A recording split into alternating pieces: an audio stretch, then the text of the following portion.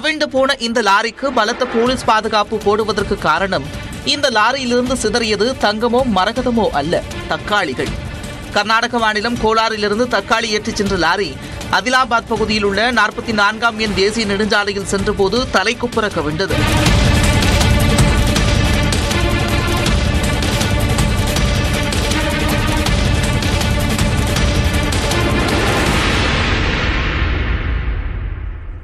தக்காளி லாரி கவிழ்ந்த செய்தி கேட்டு பதறியடித்து ஸ்பாட்டுக்கு ஓடிய போலீசார்.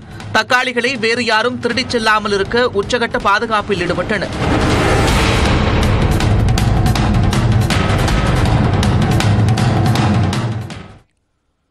மதுரையின் புதிய அடையாளமாக உருவெடுத்திருக்கக்கூடிய கலைஞர் நூற்றாண்டு நூலகம் புத்தகங்களையும் தாண்டி மக்களை வெகுவாக கவர்ந்திருக்கிறது. திறக்கப்பட்ட முதல் நாளிலேயே மக்கள் குடும்பம் குடும்பமாய் வருகை தந்து தங்களது அறிவு பசியை போக்கினர்.